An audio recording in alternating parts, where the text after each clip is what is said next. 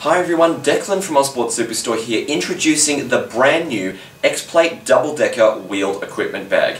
Now the X-Plate Double Decker is the perfect bag for umpires, catchers and regular players alike. It features an extra large main compartment capable of holding all your equipment like your bats, gloves, helmets, shoes, your umpiring and your catching gear.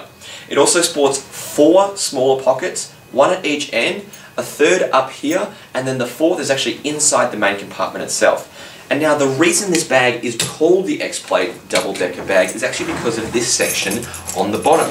This is the brand new undercarriage section. And I'll just open it up so you guys can get a real good look at it. But this compartment is actually exclusive to the double decker bags in the X-Plate bag range.